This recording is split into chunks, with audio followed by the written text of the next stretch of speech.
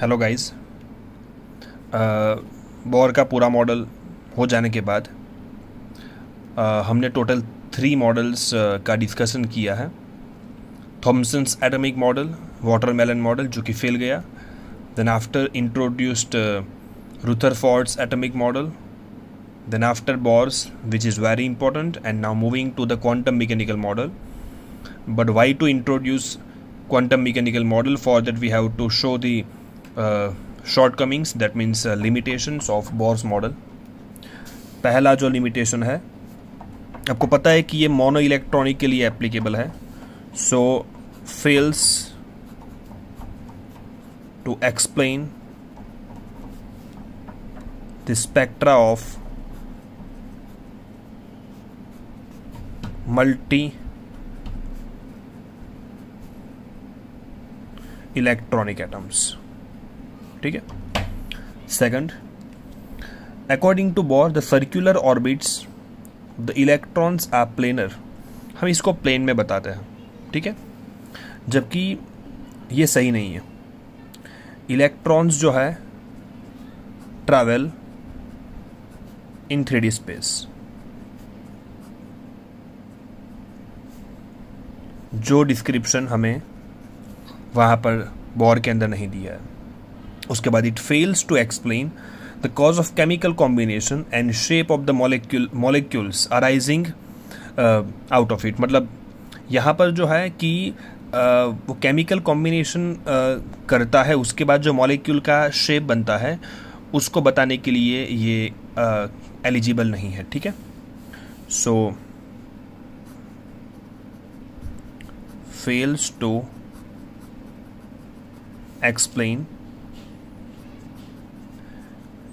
the cause of chemical combinations and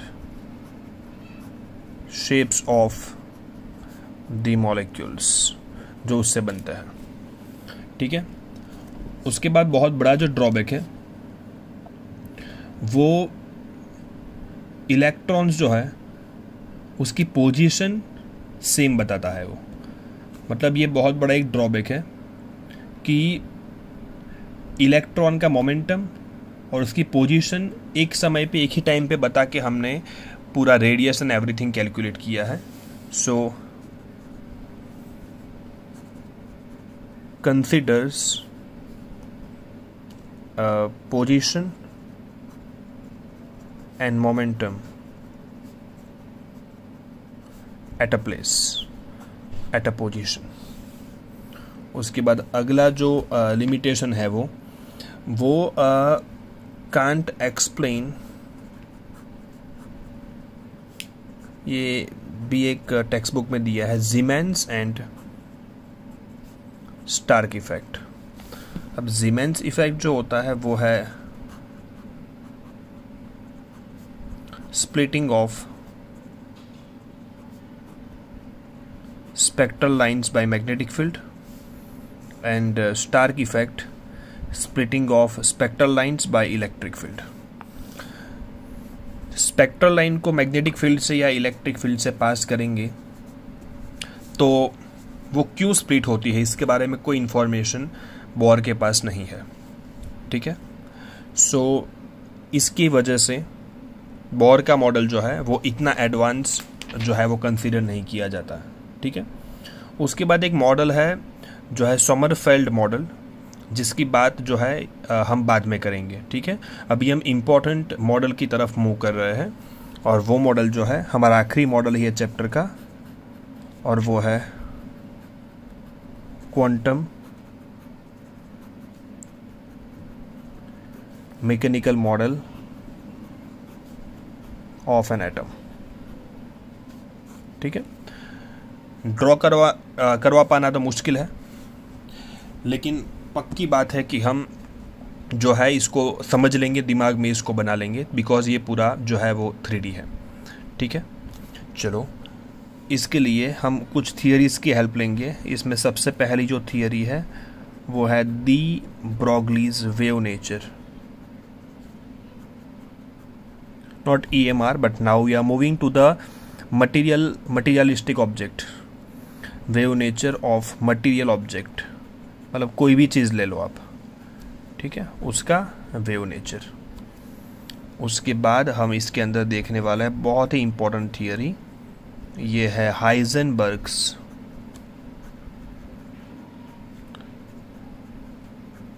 uncertainty principle Heisenberg का जो है अनसर्टिनिटी प्रिंसिपल एक बहुत इंपॉर्टेंट थियर माना जाता है। और उसके बाद हम पढ़ने वाले हैं।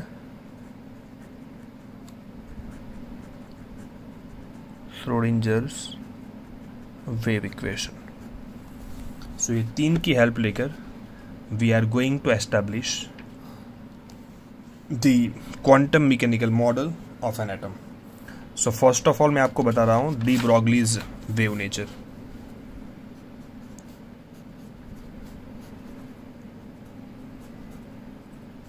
de Broglie de Broglie's मतलब ये बोल रहा है कि हर मटेरियल ऑब्जेक्ट का मास भी होता है और उसका वेव नेचर भी होता है। इसका जो फॉर्मूला है वो है lambda is equals to H by M V M V को आप पी बोल सकते हो। मोमेंटम है ये। इसको डिराइव करना बहुत आसान है। We have E is equals to M C square Einstein's relativity और दूसरा जो है E is equals to H C by lambda दोनों को इक्वेट करेंगे तो we get M C square is equals to H C by lambda से cancel हो जाएगा एक।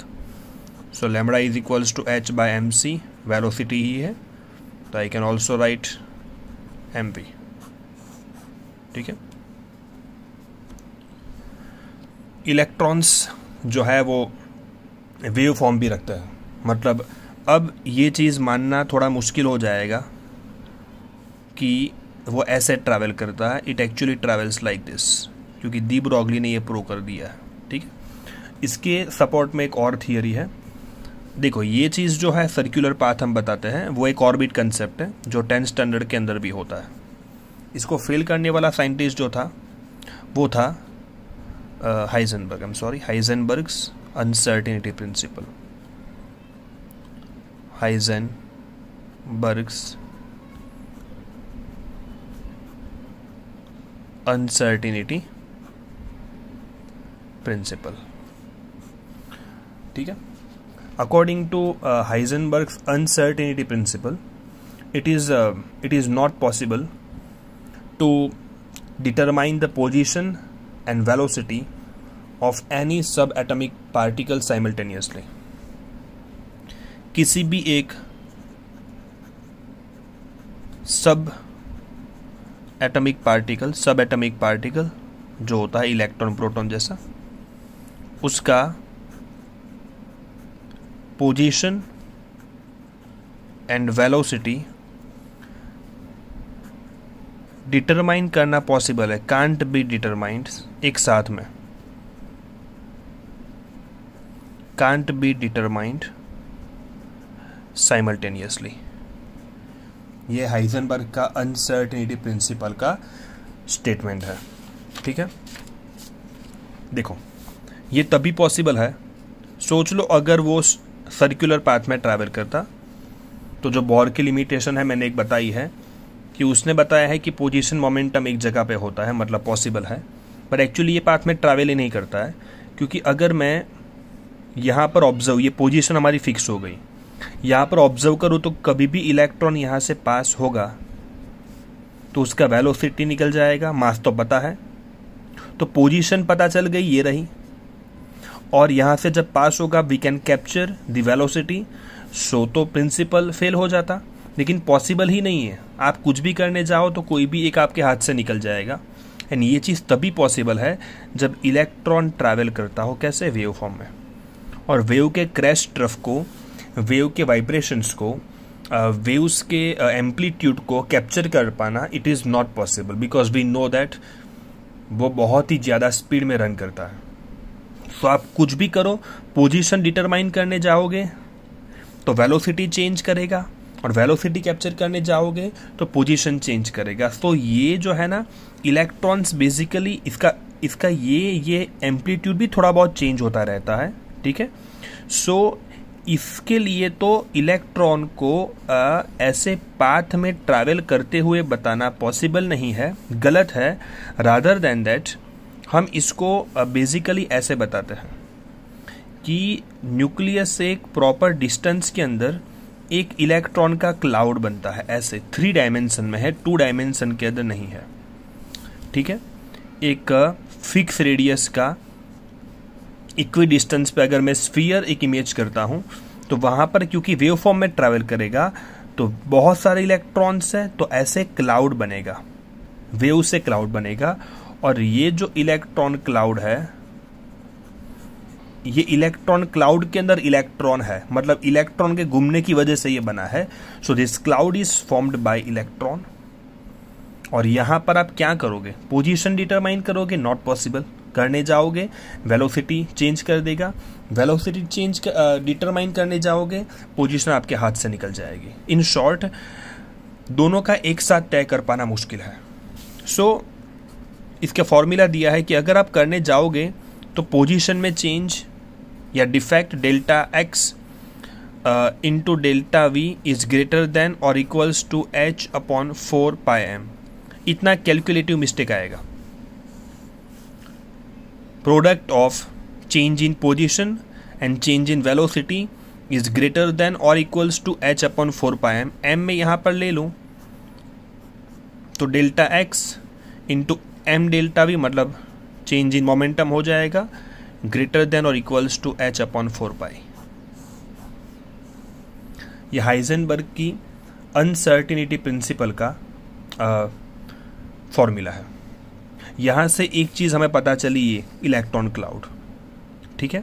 और ये इलेक्ट्रॉन क्लाउड को हम बोलने वाला है ऑर्बिटल ये ऑर्बिट जो हम, हमें पता है सर्कुलर पाथ और यहाँ पर एक टर्म इंट्रोड्यूस हुआ आपके लिए, वो है ऑर्बिटल ऑर्बिट जो है वो टू डायमेंशन में है ऑर्बिटल थ्री यह है circular path around nucleus Bohr का मॉडल सर्कुलर पाथ जहाँ इलेक्ट्रॉन घूमते हैं।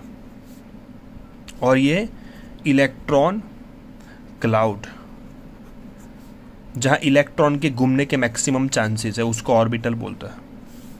ठीक है? ऑर्बिट को डिनोट किया जाता है n is equals to one two three four that means we named it K L M N orbital को डिनोट किया जाता है एस पी डी एफ़ इसकी बात हम करेंगे। इसके भी नाम है। ठीक है? S P D F orbit में कितने इलेक्ट्रॉन्स आएँगे? तो इलेक्ट्रॉन्स को ढूँढने का फॉर्मूला है two n square so first orbit के अंदर आएँगे टू फिर एट फिर एटीन, फिर थर्टी टू लाइक वाइज जबकि an orbital can't occupy more than two electrons दो से ज़्यादा इलेक्ट्रॉन नहीं आ सकते. मोर देन टू इलेक्ट्रॉन्स बात करेंगे हम, ठीक है? चलो. इसका हाइजनबर्ग के साथ कोई संबंध नहीं. हाइजनबर्ग के अकॉर्डिंगली ये नहीं है। हाइजनबर्ग तो इसको मना ही करता है। जबकि हाइजनबर्ग की वजह से ही ऑर्बिटल का ऑर्बिटल uh, जो है वो एग्जिस्ट हुई यहाँ पर ठीक है? So this is in accordance in support in accordance with Heisenberg. Heisenberg's uncertainty principle two dimension में होती है ये रही ये थ्री में होता है।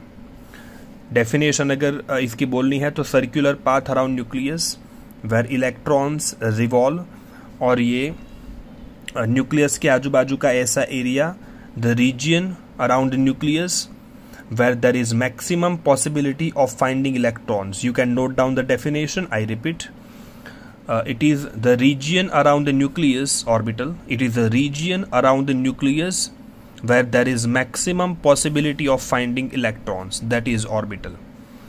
इसको डिनोट किया जाता है K L M N indicates first orbit second orbit third fourth likewise we can proceed K L M N O P Q R okay Orbital is denoted by SPDF. Number of electrons in a particular orbit can be calculated by 2n square formula and an orbital cannot accommodate more than 2 electrons. Not in accordance with Heisenberg it is in accordance with Heisenberg इसका shape होता है circular which we already know और इसके different shape होता है। जो हम आगे पढ़ने वाले हैं, आएगा डिफरेंट शेप्स जो होगा स्फेरिकल या डम्बेल ठीक है? ये डिफरेंस भी पूछा जाता है in two two three marks so please remember all the points मैंने शॉर्ट में लिखा है. You can make statements from them ठीक है? So this we have seen de Broglie's and Heisenberg uncertainty principle okay?